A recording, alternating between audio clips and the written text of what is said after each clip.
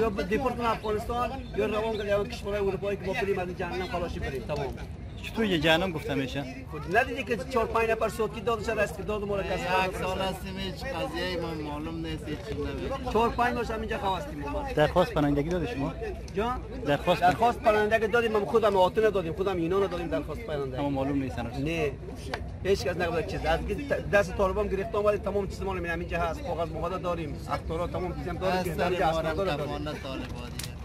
منطقه ما مانزم که پاریا بولسوالی پشتیکوت قریه تسقه نانزم تحت تصرف طالب است اجازه دارم فیلمتان رو نشر کنم. تشکر.